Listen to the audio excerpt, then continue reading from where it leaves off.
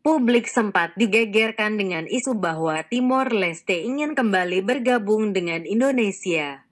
Bahkan, Timor Leste sempat menjadi trending topik di Twitter.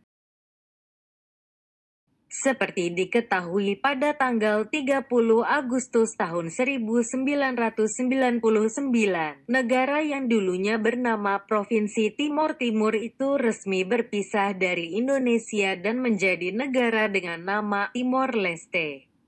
Kini 21 tahun sudah Timor Leste berdiri sebagai negara merdeka. Namun, saat merdeka, Timor Leste justru terpuruk menjadi negara termiskin di dunia. Karena itulah, beredar isu bahwa banyak rakyat Timor Leste yang memilih untuk kembali bergabung dengan Indonesia bila diberi kesempatan kedua. Terkait kabar tersebut, beragam tanggapan pun muncul. Ada yang setuju dan ada pula yang tidak setuju. Namun, Isu Timor Leste yang meminta kembali bergabung dengan Indonesia itu rupanya hanya sekadar berita hoaks. Namun, isu Timor Leste yang meminta kembali bergabung dengan Indonesia itu rupanya hanya sekadar berita hoaks. Hal itu disampaikan oleh Kominfo melalui laman resminya. Dalam pernyataannya, Kominfo mengatakan bahwa berita itu awalnya dibuat oleh media yang tidak terdaftar di Dewan Pers. Ternyata media itu dengan sembarangan mengambil sebuah dokumentasi dari salah satu media online yang terdaftar di Dewan Pers.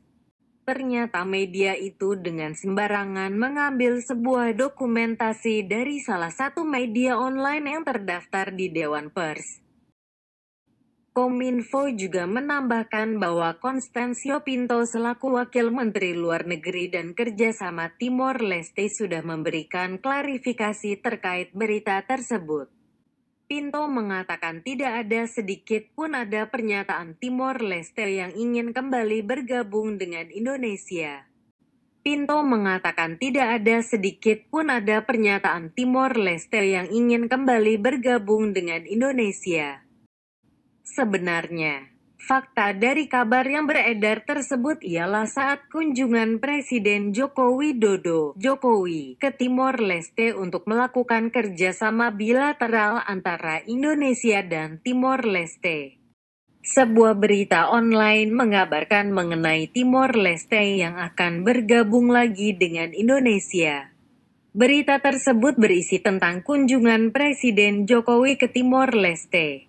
Dalam berita itu Perdana Menteri Sanana Gusmao mengatakan sebaiknya negara Timor Leste harus bergabung kembali dengan Indonesia karena bisa menyejahterakan negara tersebut. Setelah ditelusuri, portal berita online yang mengangkat kabar tersebut bukanlah media yang kredibel dan tidak terdaftar di Dewan Pers. Foto yang terdapat pada berita tersebut merupakan foto yang diambil dari media online.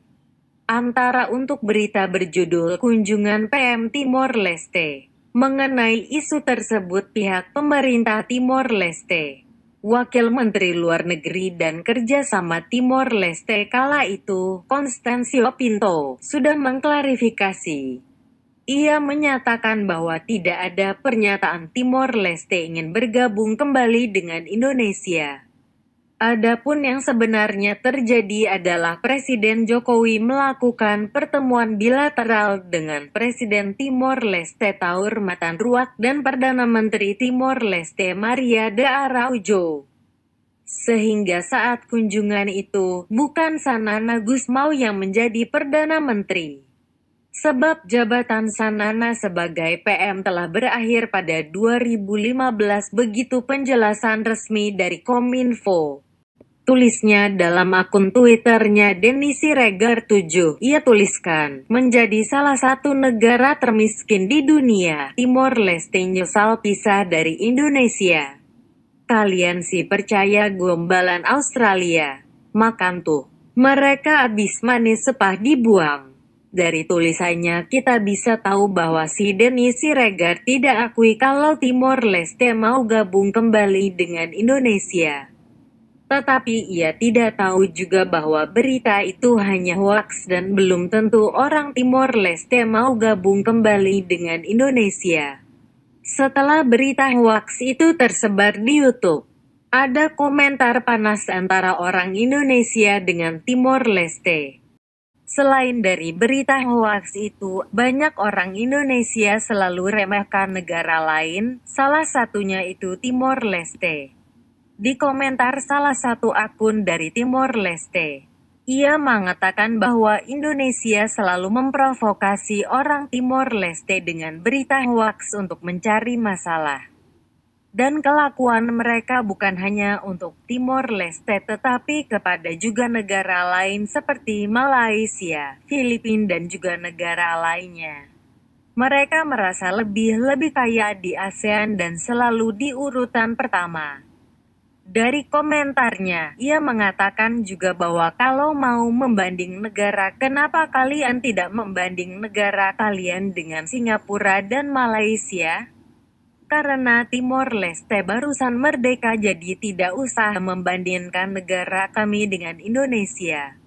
Kaya atau miskin itu bukan urusan kalian, jadi tidak usah ikut campur dengan urusan orang lain. Dari komentar salah satu orang Indonesia di YouTube, ia mengomentari bahwa berita hoax ini tidak ada sumber terpercaya, hanya isu. Sudahlah kita urus urusan masing-masing. Tidak usah ikut campur urusan orang lain. Ada juga komentar lainnya dari akun lain. Timor Leste adalah masa lalu bagi Indonesia. Saatnya mengurus diri masing-masing.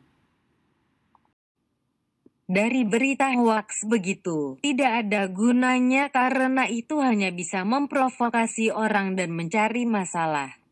Kalau kita mau dihormati, harusnya kita yang hormati dahulu. Karena apa yang kita inginkan itu butuh aksi dan kelakuan kita. Sekarang saatnya untuk urus diri sendiri, bukan urus-urusan orang lain. Kalau mau menyebar berita, harus yang benar dan jelas. Bukan membagikan yang hoax untuk mencari masalah. Terima kasih karena sudah nonton video ini dan saya minta maaf kalau ada yang salah.